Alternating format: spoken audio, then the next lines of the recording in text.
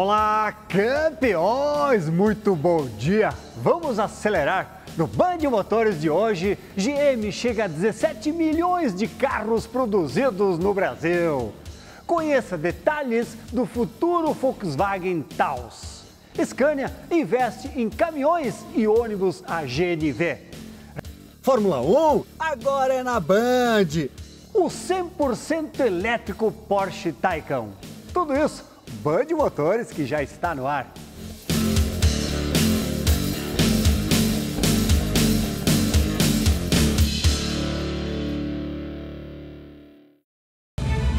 A semana é de grandes novidades para o automobilismo. A Fórmula 1, principal categoria mundial, agora é na Band. O Grupo Bandeirantes passa a ser o representante oficial da Fórmula 1 no Brasil. E neste ano são 23 etapas. Acelerem com a gente, meus campeões! A volta da Fórmula 1 ratifica o DNA da Band na história da televisão brasileira. É o canal do esporte cada vez mais forte. Serão 23 corridas no total, um recorde na categoria com cobertura completa dos veículos do Grupo Band. O GP de São Paulo e Interlagos está marcado para o dia 7 de novembro e a arrancada será no dia 28 de março no Bahrein. Um ano de transição para 2022 quando vem aí uma nova Fórmula 1. Mas em 2021 já vigora a mudança que eu considero a mais importante de todas, que é o teto orçamentário. Uma equipe grande que hoje gasta 600 milhões de dólares no ano limita a 145 milhões. A consequência disso é que as pequenas e médias vão chegar muito mais perto delas em orçamento e, consequentemente, em equilíbrio de força. A história do Grupo Band com a categoria começou 41 anos atrás, na temporada de 1980, quando Nelson Piquet conquistou sua primeira vitória na categoria.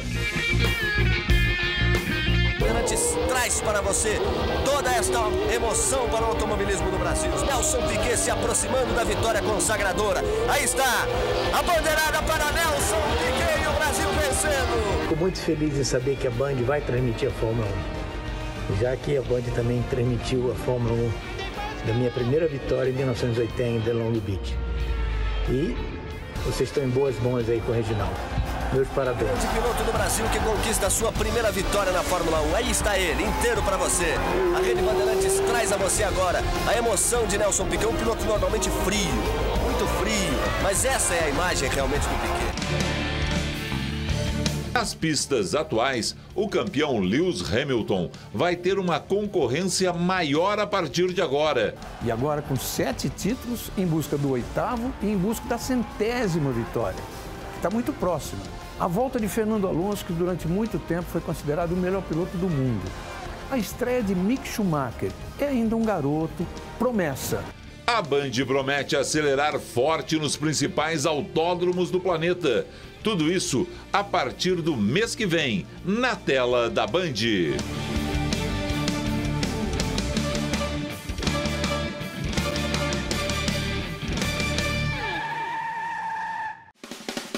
E um dos lançamentos mais aguardados para o mercado brasileiro neste ano é o Volkswagen Taos, um SUV que será produzido na Argentina e que chega ao Brasil para ampliar a linha de SUVs da Volkswagen. Ela que já tem o Nivus, o T-Cross e o Tiguan. E o Taos vai vir para ocupar a faixa intermediária entre o T-Cross e o Tiguan. Claro que o, o foco principal do Taos é brigar com modelos como, por exemplo, o Jeep Compass, pois o Taos tem 4 metros e 61 centímetros de comprimento e 2 metros e 68 centímetros de entre-eixo e um porta-malas de 498 litros de bagagem. Para vocês terem uma ideia, o Taos é 4 centímetros maior que o Compass e também tem um 88 litros a mais de capacidade de porta-malas.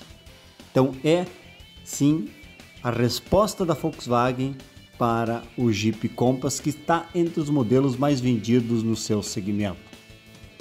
Pois o Taos tem um design moderno, jovial, com algumas características como, por exemplo, uma grade frontal iluminada, teto solar panorâmico, na parte traseira duas saídas de escapamento, que na verdade é só estético isso, rodas 18 polegadas e um pacote tecnológico bem interessante. Freio de estacionamento elétrico, sistema de monitoramento de pneus, da pressão dos pneus, o ACC, que é aquele Front Assist, é um sistema que mantém a distância do carro da frente e freia para evitar um acidente. Também tem um sistema que detecta veículos próximos durante manobras de estacionamento e um sistema que detector de fadiga. Se ele percebe que o motorista está dirigindo, mas de uma forma cansada com fadiga, ele também avisa. O SUV é, tem uma altura do solo interessante, são 24 centímetros de altura do solo, por isso mesmo que ele não tem uma tração 4x4, que não é um veículo off-road, mas ele consegue sim transpor alguns obstáculos e principalmente enfrentar ruas e estradas precárias. O Taos chega apenas numa versão de motorização 1.4 turbo, 150 cavalos de potência e o câmbio é automático de 6 velocidades. Com isso, ele consegue um desempenho, segundo a Volkswagen, de 0 a 100 km por hora em 9,3 segundos. Então aguarde, meus campeões, porque dentro de alguns meses, ainda no primeiro semestre deste ano, é o lançamento oficial do Volkswagen Taos para o mercado brasileiro. Uma nova proposta da Volkswagen para o segmento dos SUVs.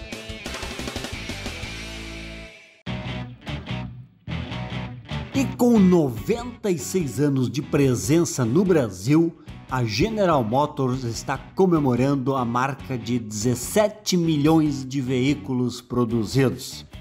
São três fábricas em atuação: Gravataí, no Rio Grande do Sul, e as fábricas de São Caetano do Sul e São José dos Campos, em São Paulo. A marca Chevrolet é líder de vendas no Brasil nos últimos cinco anos. E o automóvel Onix é o modelo campeão de vendas por seis anos. Com esse desempenho, o Brasil é hoje o segundo maior mercado da General Motors no mundo, só ficando atrás da matriz nos Estados Unidos. No ano passado, foram 338 mil carros vendidos aqui no mercado nacional. Para continuar crescendo, a montadora anunciou recentemente 10 bilhões de reais em novos investimentos para modernização das linhas de produção e também lançamento de novos veículos inéditos. Lembrando que nesses 96 anos a GM já produziu aqui no Brasil caminhões, ônibus e até geladeiras da marca Frigidaire. E entre as principais marcas do mercado brasileiro de caminhões, a Scania tem boas perspectivas para 2021. A Scania, que está há 64 anos no Brasil, com mais de 40 mil veículos comercializados. No ano passado, a marca comercializou 8.712 caminhões. E deste ano de 2021 até 2024 está anunciando investimentos de 1 bilhão e 400 milhões de reais na produção de novos modelos de caminhões e ônibus, novas tecnologias, capacidade de ampliação de produção. E dentro dessas novidades, a Scania começa o ano destacando a chegada dos ônibus rodoviários AGNV, que é o gás natural veicular. Pois no ano passado, a montadora investiu nos caminhões AGNV e vendeu 70 unidades. E agora o foco também está nos ônibus rodoviários AGNV. Isso tem uma grande parceria com a empresa gaúcha Marco Polo, que juntamente com a Scania vai permitir a Turi Silva, operadora de transporte da região sul do Brasil, a receber os primeiros ônibus rodoviários movidos a GNV. Com aplicações para fretamento em todo o país, o ônibus Marco Polo para diesel 1050, juntamente com a Scania, conta com diferentes soluções da plataforma Marco Polo BioSafe, como sanitário e sistema de ar-condicionado com lâmpadas UVC para desinfecção dos ambientes, cortinas com material antimicrobiano e dispenser de álcool em gel na entrada da escada de acesso ao ônibus. Esses ônibus têm capacidade para transportar 44 passageiros em poltrona semileito e o ônibus Scania Marco Polo a GNV tem uma autonomia de cerca de 300 quilômetros. E após o intervalo, vamos conhecer o Porsche 100% elétrico, o Taycan. É rapidinho, não sai daí, nós já voltamos.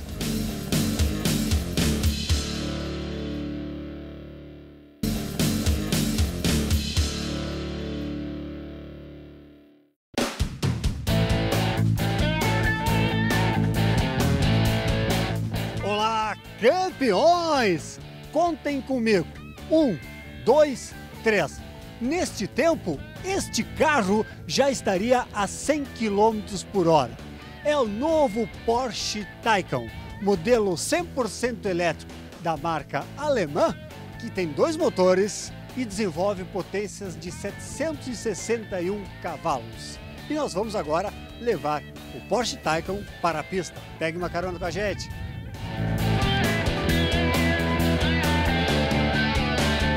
Então, meus campeões, Porsche Taycan 100% elétrico, tem dois motores, um em cada eixo. Desempenho fantástico do carro. Acelera, meus campeões, de 0 a 100 km por hora em apenas 2,8 segundos. E ele chega a 200 km por hora de aceleração em menos de 10 segundos. É impressionante que acelera o Taycan Turbo S. Lembrando que ele tem vários modos de condução. Normal, esporte. São vários modos de condução que você pode escolher praticamente personalizando a tocada que você quer. A esportividade né, da, da Porsche também presente nos carros elétricos.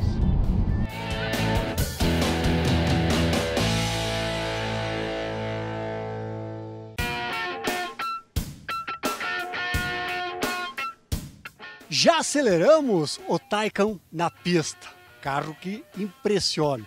E agora vamos falar com o Rodrigo, que é diretor de comunicação e imprensa da Porsche Brasil, para saber justamente, Rodrigo, vocês estão fazendo um evento que padrão global para apresentar o Taycan no mercado brasileiro. O Taycan é, ele traz esse símbolo né, da nova era da, da eletrificação.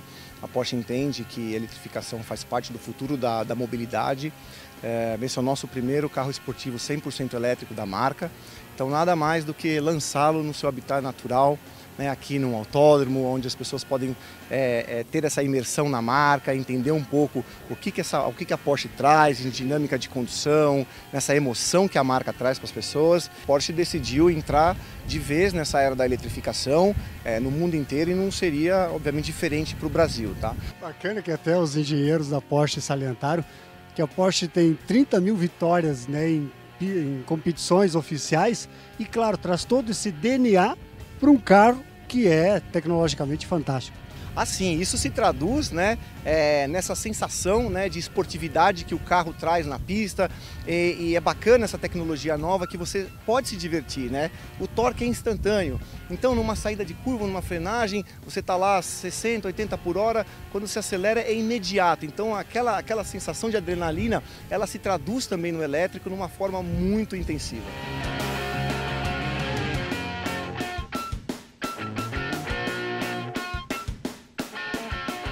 E a chegada do Taycan também tem um posicionamento da marca Porsche no Brasil junto aos seus consumidores. Vamos falar com o Werner, que é diretor comercial da Porsche do Brasil. Werner, como é que vocês estão trabalhando esse posicionamento da chegada de um produto 100% elétrico? É um prazer falar com vocês. Na verdade, a chegada do Taycan, ele já vem seguindo uma estratégia da empresa que já se iniciou há muitos anos, que é o processo todo da parte de eletrificação dos carros, seja nos modelos híbridos que já acontecem na nossa linha, mas agora com o carro totalmente elétrico da, da marca Porsche no Brasil. Então essa é uma estratégia que tem vindo sido construída ao longo dos anos e agora estamos muito felizes de poder apresentar o carro 100% elétrico no Brasil. Para isso é fundamental, acho que o consumidor também entenda toda essa tecnologia, não é? Não, sem dúvida é muito importante que ele entenda essa tecnologia, mas também que ele possa testar essa nova tecnologia. Então esse evento que nós estamos fazendo aqui no Velocitar é exatamente para isso, para que a imprensa, os clientes, os nossos concessionários possam efetivamente testar, aproveitar e, e tocar no nosso produto pela primeira vez e poder sentir a tecnologia, o desempenho e a alma Porsche que tem no Taycan.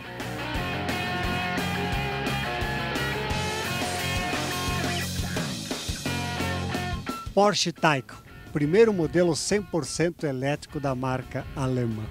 Nós estamos no Autódromo Velocitar, atendendo todos os protocolos de segurança, inclusive fizemos vários testes da Covid-19. Aqui conosco o Leandro, que é gerente de produto da Porsche Brasil. Leandro, explica pra gente um pouco o conceito do Porsche Taycan. Obrigado. Uh, bom, Porsche Taycan é nosso primeiro esportivo 100% elétrico. E para Porsche é muito importante que todo novo automóvel lançado seja referência em esportividade no, no seu segmento. Afinal de contas, é isso que a gente sabe fazer, carros esportivos. Então o Taycan chega com essa missão de ser o primeiro esportivo 100% elétrico. Como funciona? São dois motores, um em cada eixo. Mas explica para a gente, para o nosso cliente entender como é que funcionam os dois motores, essa sintonia, o overboost. Perfeito. Bom, é, de fato, como você mencionou, nós temos dois motores elétricos, um no eixo dianteiro e um no eixo traseiro. Nós temos a nossa bateria de alta performance que ela fica posicionada no nosso próximo ali do entre-eixos. Uh, esses dois motores atuam juntos, tá? Nós temos um sistema eletrônico que determina quando cada um dos motores é utilizados e juntos eles entregam esses 771 cavalos de potência. E uma particularidade do Taycan é a transmissão de duas velocidades no eixo traseiro. Então a gente consegue utilizar a primeira marcha em arrancadas, e aí a gente multiplica o torque e consegue uma aceleração bastante vigorosa, ou a gente pode trabalhar com uma segunda marcha e te dar um alcance maior quando você está numa estrada, por exemplo. Os Porsches são conhecidos pela função do controle de largada. No Taycan a gente leva isso um pouco além e adiciona esse overboost. Como que ele funciona? Durante 2 segundos e meio, a gente consegue dar um pico de potência, fornecer um pico de alimentação para esses motores elétricos. E aí a gente no Taycan Turbo S consegue saltar de 625 cavalos de potência para o 761. Todas as versões do Taycan disponíveis hoje no Brasil, a 4S, a Turbo e a Turbo S, têm autonomia de acima de 400 km, ah, perdão, acima de 400 km, tá? Questão de recarga, existem diferentes possibilidades. O evento mais comum será a recarga em casa, recarga no domicílio, tá? Para isso, o Taycan é equipado como item de série um carregador de 11 kW e nesse carregador você vai carregar sua bateria em até 9 horas, tá? Um carregador opcional de 22 kW e aí você reduz isso para 4 horas e meia. Aí você pode me perguntar, poxa, mas eu não tenho uma tomada na minha garagem.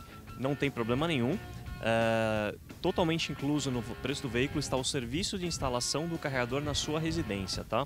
Então não importa se você tem ou não uma tomada na sua casa ou no seu condomínio, o nosso parceiro homologado irá instalar essa tomada para você e tudo que você precisar também, como quadro, disjuntor, cabo, até um transformador, para fazer o upgrade da sua rede elétrica para os 400 volts que a gente precisa está incluso no valor do veículo também.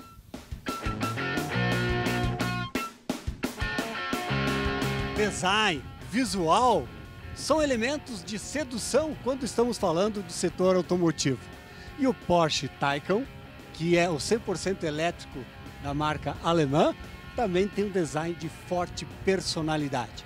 Claro que ele mantém elementos tradicionais do modelo 911, do Panamera, as linhas de design à frente baixa, com faróis com uma identidade muito própria dele, faróis em LED, rodas, rodas esportivas 21 polegadas, inclusive a roda com design diferenciado. E ele é um sedã coupé. Vocês podem ver que ele é um sedã coupé grande, quase 5 metros de comprimento. E de entre eixos, 2,90, quase 3 metros de entre eixo. Isso permite bom espaço interno para quatro pessoas. E outro detalhe, olha só a altura do carro. Menos de um metro e meio de altura. Isso dá um coeficiente aerodinâmico ao Taycan de apenas 0,22% CX de coeficiente aerodinâmico, o que para um carro elétrico é fantástico. É um dos melhores coeficientes aerodinâmicos do mercado global. Esse o Porsche Taycan, meu campeão, que tem também essa traseira bastante inclinada, de forte personalidade, sim. Você identifica este carro de imediato nas ruas. Porsche Taycan, modelo 100% elétrico da Porsche e que agora já presente nas ruas brasileiras. E a frase de hoje é: Antes de pedir algo, entenda a diferença entre querer, merecer e precisar. Chegamos ao final do nosso Band Motores de hoje, agradecendo pela audiência, mas vocês podem nos acompanhar em nossas mídias, no Facebook, no Instagram e no YouTube, Band Motores. E nosso encontro, próximo programa. Até lá, um grande abraço.